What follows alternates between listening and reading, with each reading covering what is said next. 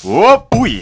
Isa na namang Pocophone ang ating i-review ngayong araw na to. Alam niyo na yan, kapag sinabing Pocophone, ito na yung pinakasulit na lineup ni Xiaomi. Yes, mas sulit pa sila kaysa sa mga Redmi product line. Bagsak kung bagsak ang presyo. Wala sila pakialam kung malugi man sila sa kanilang phone. Ang kanilang vision is to give you the best phone with the best specs. Gusto nila, the best ang phone mo. At lahat kayo ay merong Xiaomi at Pocophone sa inyong mga kamay. That is the vision. Grabe naman. Currently, meron tatlong lineup si Pocophone. May Poco F series. Ito yung flagship lineup nila. Poco X series, yung mid-range. And last but not least, is yung kanilang budget lineup, which is si Poco M series. Finally, meron ng budget si Pocophone. Alright. And as usual, sulit siya. Napakaganda ng specs. Sumabog ulit ang internet dahil dito sa phone na to. Meron siyang Snapdragon 662 processor, 4 gigs of RAM, 64 gigs of internal storage, 6,000 mAh of battery, bagong-bagong design, and so much more. All for under 6,000 pesos. Hmm. Sayang, hindi ko naabutan siya doon kanyang launch dahil sa nangyari sa amin. Pero this time, we will see how is the Poco M3. I-unbox na natin at i-review. Upload si Vince and you're watching Unbox Diaries. Woohoo! Okay, here we go. So, una napansin ko is mukha siyang Realme phone or Realme box. Kasi yellow all over, pero there is one defining feature na nagsasabi na Poco talaga siya, which is yung ilalim, black. Oo, si Poco is yellow and black. Si Realme is pure yellow. Okay, buksan na natin. Hey, welcome to the... Poco! Grabe naman, pati yun na. Hey, welcome to the Xiaomi family. SIM ejector pin, user guide, warranty card, at yung jelly case. Hmm, eto na. Oh, wow. Brand new. Ayan o, bagong design sa likod. We will check it out later. Tapos, meron pa siyang cardboard. And finally, madaling tanggalin ang kanyang charger. Kadalasan mga Xiaomi phones ay mahirap tanggalin ang kanilang mga chargers. Ito nga pala ay 22.5 watts of fast charging power. Pero yung phone mismo ay 18 watts fast charging lang. Last but not least is yung kanyang USB Type-C cable. At ayun lang ang laman ng box. Ito na siya, Poco M3 so satisfying. Ginagawa niyo ba yon kapag binubuksan niyo yung phone for the first time? And guys, ang itsura ng Poco M3, mukha siyang Among Us, di ba? Ito yung body, ito naman yung kanilang mata, or shades, or basta yun. Visor, I have to say, yung design niya is unique from all the other phones at this price. Meron siyang parang housing dito ng camera. This is plastic, no? Hindi po lahat yan ang camera. Pang design lang yan. Oh. Ito lang talaga yung camera niya. Ito ay baka mas-scratch. Madaling mas-scratch to, promise. Uh, feeling ko lang. Well, okay lang yan. Mag-jelly case naman kayo anyways. Meron siyang big Poco logo sa right side. Patayo. And yung kanyang tunay na camera module dito sa left side. Which is a triple camera setup na 48MP yung kanyang main sensor. Wow. Tapos, tingnan nyo to mabuti. Wow! Leather ba yan? Mm, leather material yung nilagay sa likod. Actually, yung surface lang. Yung kanyang likod is made out of plastic. Pero para meron silang nilagay na extra na layer for the leather part. Para siguro sa anti-scratch or anti-fingerprint magnet. Oo, as you can see, malinis na malinis pa rin yung likod kahit marami na akong touches sa kanyang likod. So, hindi siya dumihin except for the dito na part na to. You know, glossy. Pero nga, Among Us talaga yung kanyang itsura. Among Us inspired. Yan lang, hindi ko masyado nagustuhan yung kanyang mga text dito sa ilalim. Medyo madumi tingnan ang kanyang ilalim dito. But oh well, andyan na yan. That's the problem with the global variant. Sa mga China variant, wala yan. And by the way, napansin nyo ba na wala na siyang fingerprint scanner sa likod? Kasi nga, medyo outdated na yung design na yon. And it's not a clean look. Ito, medyo clean look pa except for the text dito. Pero nasaan yung kanyang fingerprint scanner? Nasa display na ba? Nope.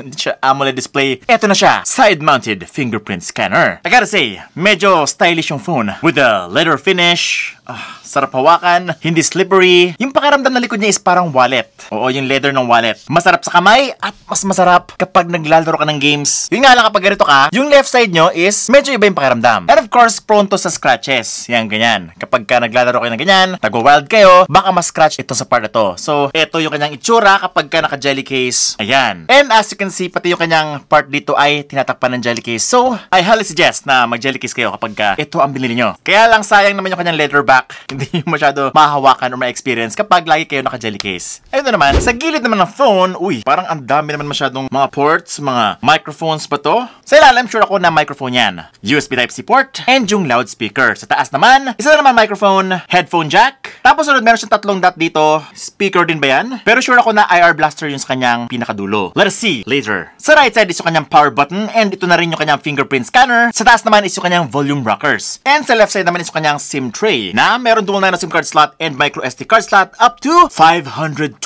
gigabytes of external storage. Wow! Buti pa si Xiaomi at, at si Huawei umaabot ng 512. Kadalasan up to 256 lang yung iba. Okay, so ito na. Ang lamang ni Poco sa lahat ng mga phones na kapresyo niya. Si Mobile Legends? Hindi. Ang kanyang display, which is 1080p na. 6.5 inch, Full HD Plus 1080p, IPS LCD display na Corning Gorilla Glass free and naka water drop notch pa. Alright, 6,000 pesos na phone, meron ng 1080p. Ano nagsasabi sa inyo? Bihira lang yan. At bihira lang ang may phone na 6,000 pesos at merong USB Type-C rin. So, in terms of the essentials na mga, well, hindi naman talaga siya essentials kasi basically, kahit 720p lang, okay na. Okay lang din kahit micro USB, pero syempre, meron mga tao dyan na medyo maarte when it comes to specs. Kailangan at least daw 1080p. Kailangan at least USB Type-C. Well, meron na yan kay Poco M3 lahat. So, at ito na naman sabi ko, ang display niya is okay, above average. 1080p, sa YouTube, sa Netflix, pwedeng pwede yan. Yung brightness niya, saktuhan lang, pwedeng pwede na rin. Pero oo, nakita ko dito na very sharp talaga ang isang 1080p display. Kitang-kita ko sa mga icons, kitang-kita ko sa mga graphics, sa mga photos sa Facebook. So, if important sa inyo ang 1080p display, merong-meron si Poco M3. Tapos yung mga bezels niya, pwede na rin, manipis na. Although water drop notch siya, pa ibang phones nag-move forward na sa design ng punch hole. So, but it does not make a big difference at all sa experience. Kapag naglalaro ka ng games, saktuhan lang. Almost the same experience as a punch hole display. I'm telling you, wala masyadong pinag-iba ang experience ng punch hole sa water drop notch. No. Kumbaga yung placement lang ng camera, yun yung nag-change. Pero kapag naglaro ka ng games, watching movies, almost the same pa rin yung kanyang experience. Pero nga, baka wala kayo pakialam sa display. Baka andito lang kayo para sa kanyang performance sa gaming. Siyempre, who doesn't? Gaming or mobile gaming is the big thing, the hottest thing in 2020. Pero before ko ipakita yung mga games, you need to see this.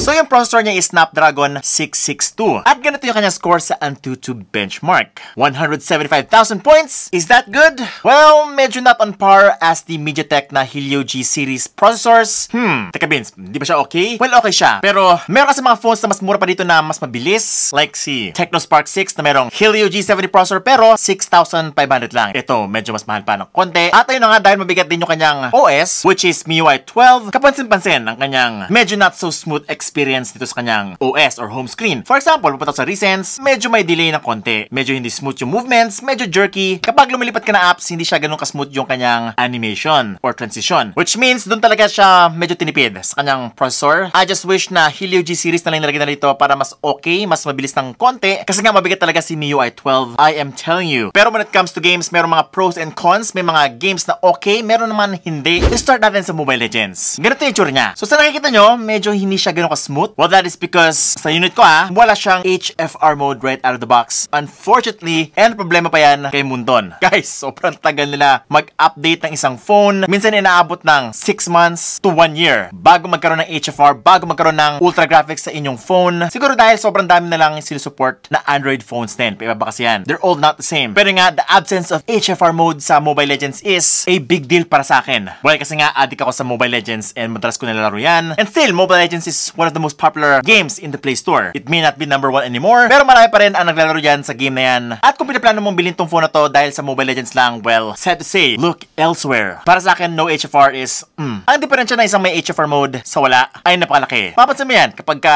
walang HFR mode, compared sa meron, malaki ang difference kanilang graphics. Mas smooth lahat kapag meron. Kapag wala, mukhang lagi ang experience. Kapag nanggaling ka sa isang phone na merong HFR mode, at lumunod ka dito, makita nyo parang step back yung ginawa nyo. It's not as smooth siguro as your old phone. Pero if you're willing to wait, magkakaroon naman ng updates ito in the near future. Sana i-support ni Munton and i-activate niya agad yung HFR mode. Don't worry, in-update ko naman tong kanyang software bago ko siya gamitin. Wala pa rin siyang HFR mode, pero meron naman siyang shadow, meron naman siyang high graphics, and very playable naman siya sa Mobile Legends. It's just not the best experience, that's all. Pero, if you don't care about Mobile Legends, then by no means, this is a great phone. And good news sa mga ibang games, okay naman siya. Call of Duty, umaabot ng very high graphics. And high frame rates, kumpleto rin sa baba. May mga konti lang nawala. Ito na sasabihin ko sa inyo, walang ibang phone at this price na kayang gumawa ng ganito sa Call of Duty. If you want the best Call of Duty experience, sa murang halaga, ito na yon. This is it. Ito na yung pinakamurang, pinaka-okay sa Call of Duty, period. And one more thing, one more good news. Ang kanyang sound quality. Guys, oh my god, meron siyang high resolution audio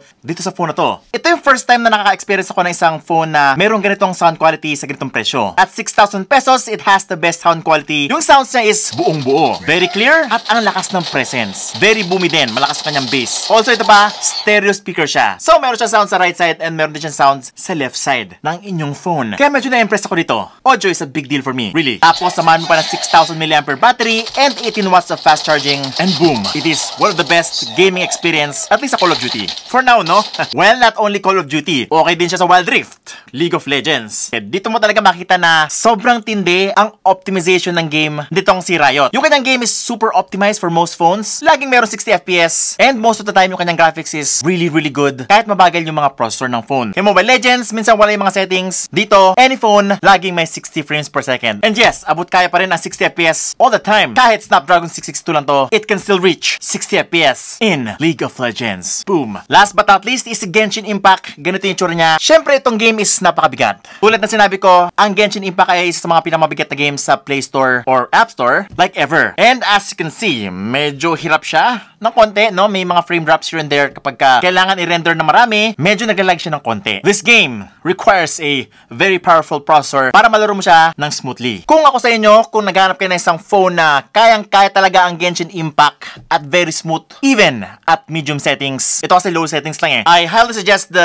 Poco X3 or ito, ang Cherry Mobile Aqua S9 Max. Yes, naka Helio G92 na to. Tinry ko sa Genshin Impact. Pinamanin niya lang ang Genshin Impact sa medium settings. So, if you haven't watched my review, check it out. Ang dami ng views. And finally, we have the cameras. Kamusta naman sila? Is it good? Well, I'm happy to tell you, it is super good. Compared sa mga ibang phones na review ko for about 6,000, 7,000 pesos, ito actually the best. Yes, meron siya 48MP main sensor, 2MP macro lens, and 2MP depth sensor. Wala siyang ultra wide angle, baka kasi magmahal kapag nilagyan nun. At ito yung mga pictures niya. As you can see, maganda maganda ang pictures coming out of this phone. Very impressive. I guess that's why na kailangan na lang mag-resort dun sa Snapdragon 662. Kasi nga, yung kanyang camera is, wow, it is incredible. Siguro dahil sa software, kasi nga, most 48MP cameras at this price range ay hindi ganun kaganda. But this, nagbago ang meta when it came to this phone. Yung quality niya talaga is pang 10,000, pang 15,000 pesos. Ganun nakikita ko dito. Very sharp, colors are okay. Maganda yung dynamic range. Selfie, okay din. Yun nga lang, medyo mataas yung